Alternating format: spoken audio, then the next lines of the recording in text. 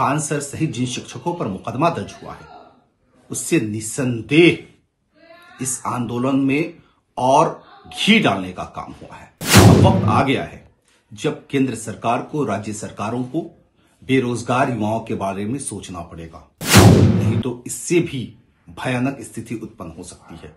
नमस्कार, आप देख रहे हैं लाइव सीरीज़ में हूँ आपके साथ शिवम आरआरबी एनटीपीसी रिज़ल्ट में धांधली को लेकर। बिहार सहित पूरे देश में छात्रों का आंदोलन चल रहा है। आपको हम लगातार खबरों के माध्यम से दिखा रहे हैं कि किस तरह से राजधानी पटना से शुरू हुई आंदोलन अब पूरे बिहार में देखने को मिल रही है। आपको बता दें कि कल की भी तस्वीरें आपके सामने हमने रखी थी कि किस तरह से गया के साथ साथ जहानाबाद में भी एनटीपीसी छात्रों के द्वारा ट्रेन में आग लगा दी गई थी, जिसके बाद यह खबरें निकल कर आई थी कि खान सर के ऊपर भी जिला प्रशासन ने एफआईआर दर्ज किया गया है, जिसके बाद आज बिहार के पूर्व मुख्यमंत्री और हिंदुस्तानी अवाम मोर्चा के राष्ट्रीय अध्यक्ष जीतन राम मांझी ने भी अपने ट्विटर हैंडल से एक ट्वीट किया है और साफ़ तौर पे उन्होंने लिखा है, आप अपने स्क्रीन पे देख सकते हैं कि संविधान में हिंसा और तोड़फोड़ का अधिकार किसी को नहीं है।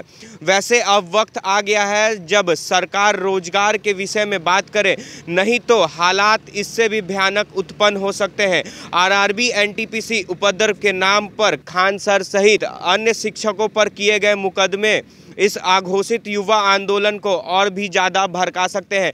तो कहीं ना कहीं जीतन राम मांझी ने साफ़ तौर पे कह दिया है कि जिस तरह से खान सर सहित अन्य टीचरों पर एफआईआर दर्ज हुआ है तो ये जो आंदोलन है वो और भी ज़्यादा भड़क सकता है। क्या कुछ कह रहे हैं हिंदुस्तानी अवाम मोर्चा के राष्ट्रीय प्रवक्ता दानिश रिजवान? पहले आप वो सुने। देखिए, संविधान में आंदोलन के नाम पर तोड़फोड़ और हिंसा की कोई जगह नहीं है। वैसे, अब वक्त आ गया है जब केंद्र सरकार को, राज्य सरकारों को बेरोजगार युवाओं के बारे में सोचना पड़ेगा। नहीं तो इससे भी भयानक स्थिति उत्पन्न हो सकती है। आरआरबी और एनटीपीसी रिजल्ट्स के नाम पर चल रहे प्रदर्शन के दौरान खान सर सहित जिन शिक्षकों पर मुकदमा दर्ज हुआ है, उससे निसंदेह इस आंदोलन में और घी डालने का काम हुआ है।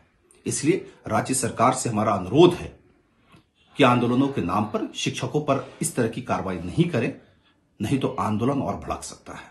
तो आपने साफ़ तौर पे सुना जहाँ एक तरफ़ आरआरबी, एनटीपीसी रिज़ल्ट में धांधली को लेकर बिहार सहित पूरे देश में जो छात्र हैं वो आंदोलन कर रहे हैं। ऐसे में कल केंद्रीय रेलवे मंत्री अश्विनी वैष्णव ने भी अपना मुद्दा रखा और साफ़ तौर पे छात्रों से कहा है कि एक कमेटी बनाई गई है जो कि कमेटी में ही तय होगा कि किस तरह से आगे जो फैसला है वो लिया जाता है। पर उससे पहले ही आज बिहार के पूर्व मुख्यमंत्री जीतन राम मांझी की पार्टी ने यह मांग कर दिया है राज्य सरकार से कि खान सर के साथ साथ जो अन्य शिक्षकों पर मुकदमे हुए हैं, वो अब वापस ले लेना चाहिए। क्योंकि अगर उन पर मुकदमा होता है तो जो छात्र हैं, वो और भी ज़्यादा उग्र आंदोलन करेंगे। अब देखने वाली बात यह होगी कि जिस तरह से एनटीपीसी आरआरबी के छात्र लगातार अपनी मांगों को लेकर प्रदर्शन कर रहे हैं तो इसमें अब आगे क्या कुछ देखने को मिलता है। बहरहाल, अब बने रहे हमारे साथ। अगर आपने हमारे चैनल को सब्सक्राइब नहीं किया है तो जल्द से जल्द सब्सक्राइब कर ले। धन्यवाद।